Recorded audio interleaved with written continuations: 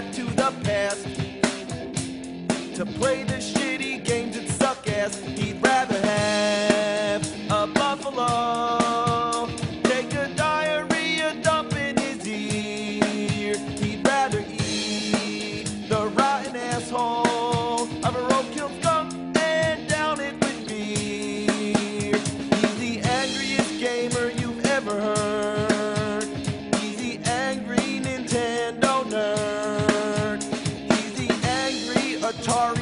nerd.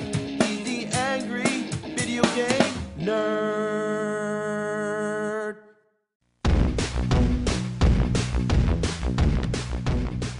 I remember one time in school I had an X Men coloring book, and the teacher looked over and said, Hmm, X Men, huh?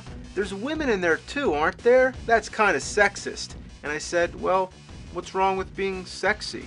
No, I didn't say that. But I've always remembered that because it's a good point. I guess X people just doesn't sound as good. Well, anyway, here is the NES X Men. Say that three times fast. NES X Men, NES X Men, NES X Men. Well, anyway, with a concept like X Men, you'd expect a great game, or at least a fairly decent game. All the characters and powers and shit. How hard could it be? Well, we are doomed from the very start. Take a look. Somebody makes an X Men game for Nintendo. Why, in the love of fuck, does it have to be LJN? You take one look at that logo and you just know there is no gold at the end of that rainbow because this, my friends, is the unholy stamp of death. And I'm about to do the unthinkable. I'm about to stick this abomination in my Nintendo. Rather stick your dick in a piranha's mouth. Here we go Marvel's X Men. Is that the official title? The label calls it the Uncanny X Men. I say screw that, file it under X for X Men, plain and simple. First, you select the stage. Couldn't there have been something a little more interesting than just plain text? Any other game would have had some kind of visual. Then you select two characters. Even if you're playing a one player game, the CPU feels the need to join the fun. This is the most sensitive select screen in the history of games. You have to gently tap the select button, or else it flashes through all the characters faster than you can say fuck. Here we go. Wow, look at this mess. It's all coming back to me now. This is one of those games I rented from the video store and wasted one of the weekends of my sad, pathetic life. Look at this. Cluttered pixels, scrambled textures, shit flying everywhere. It's a disaster. The characters look like stiff, mangled, colored shapes that barely represent who they're supposed to be. Cyclops looks the same as Storm. All they did was recycle the same character and color them all different.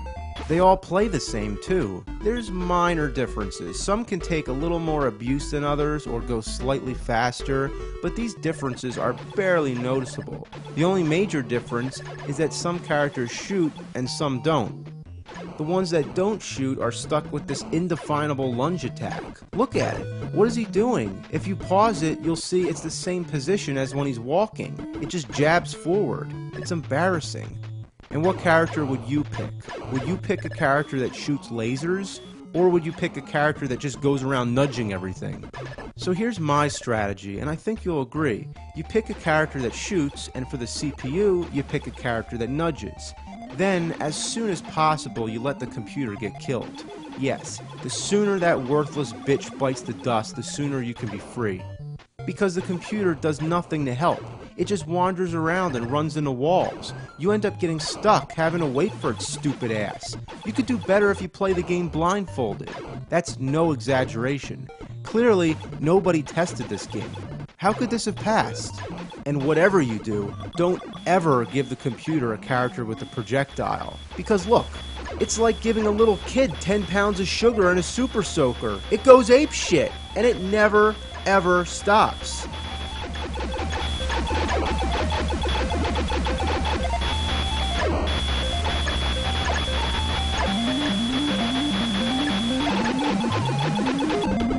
Oh, thank God. All you want is the computer to die so you can get some peace and quiet. When you're playing the two player mode with a real live human being, it's fine. But when I'm by myself, why do I have to pick two characters? It's a complete waste.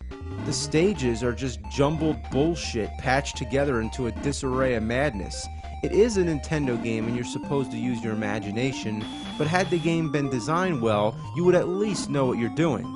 Right here, I can't pass through these tiles, even though they appear the same as all the other tiles around it. If all this clutter at least had some consistency, it would be somewhat acceptable. What's this right here? A hot dog in a bun? Or more like a pig in a blanket? And what's all this? Where am I? Spaghetti zone? Okay, what's happening now? I'm frozen? What the hell? Oh, that's nice. Isn't that fair? That's like tying my hands behind my back. And how can I be frozen with a character that's called Iceman? I'd be better off with Iceman from Top Gun. Now what's this shit? A laser barrier? Oh, fuck. I've had enough of this shit. Well, after that disgrace, I'm happy to say there's an alternative.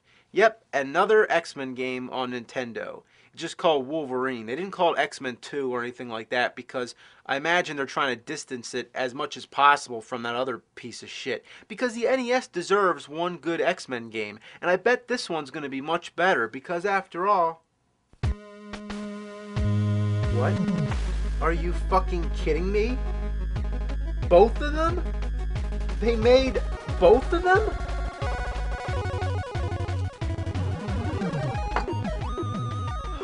God. You think with a franchise like X Men, they'd give somebody else a try.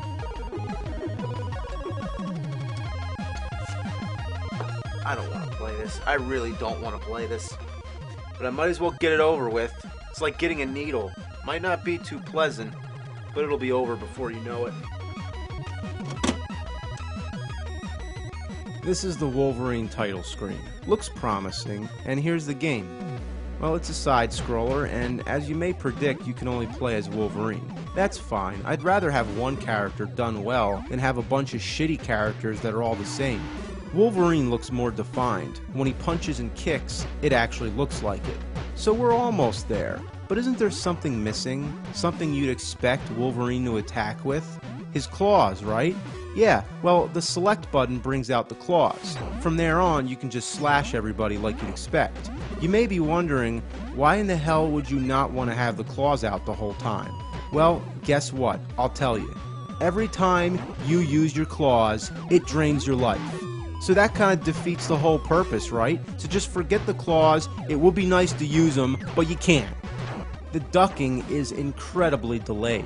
When you push down, it doesn't just duck like any other game, it goes into this little animation. It's unnecessary and it makes it hard to avoid getting hit by something. For power ups, we have burgers. Yeah, what else could they be? They're fucking burgers. And we also have bottles, which could be anything, but I'm gonna assume they're beer. That sounds about right. It's an X Men barbecue, burgers and beer. Oh, fuck you. How cheap is it to put the burger right on top of, uh, a propeller.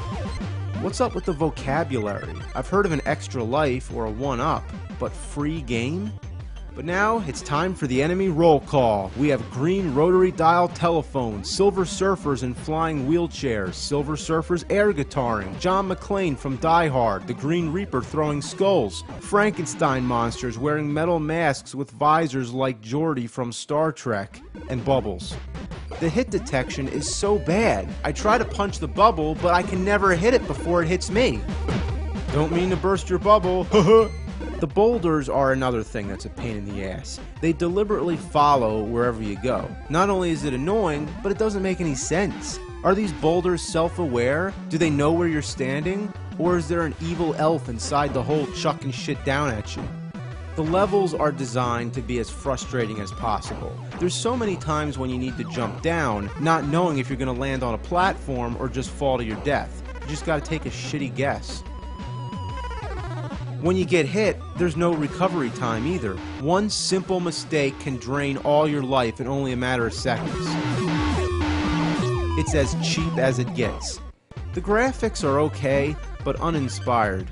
These platforms remind me of those things from the casino stage in Sonic 2.